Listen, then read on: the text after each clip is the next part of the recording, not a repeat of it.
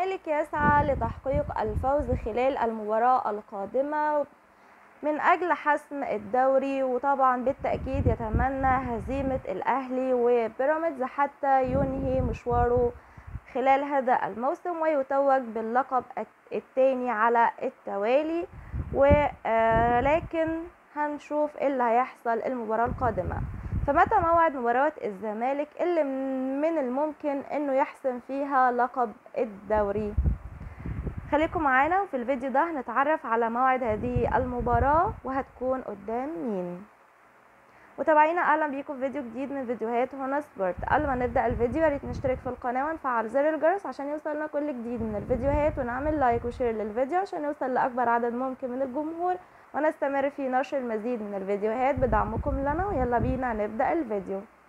نادي الزمالك هيقابل نادي فاركو في المباراة ال 31 من الدوري المصري الممتاز 2021 2022 ومن المفترض لو فاز الزمالك بهذه المباراة وخسر أحد المنافسين سواء كان الأهلي أو بيراميدز هتكون مباراة التتويج وجولة الحسم والتتويج بالنسبة لنادي الزمالك للقب الدوري للموسم الثاني على التوالي. فنادي الزمالك يتواجد في صدارة الدوري المصري الممتاز ب 72 نقطة جمعهم خلال 30 لقاء. فاز في 23 مباراة وتعادل في 3 وهزم خلال أربع مباريات أخرى. وسجل 59 هدف ودخل 58 28 هدف. أما فاركو فيتواجد في المركز الثامن بأربعين نقطة من 30 مباراة.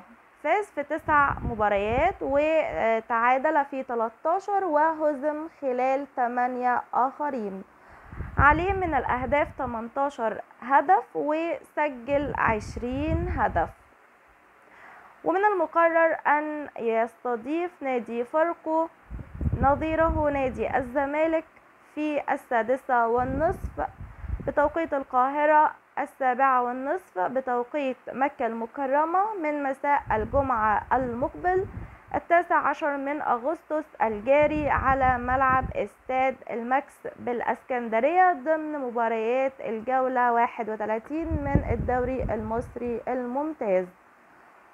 ويمكننا مشاهدة مباراة الزمالك وفاركو عبر شاشة اون تايم سبورتس 1 كنت معاكم حياة رمضان وأشوفكم في فيديو جديد. bye bye.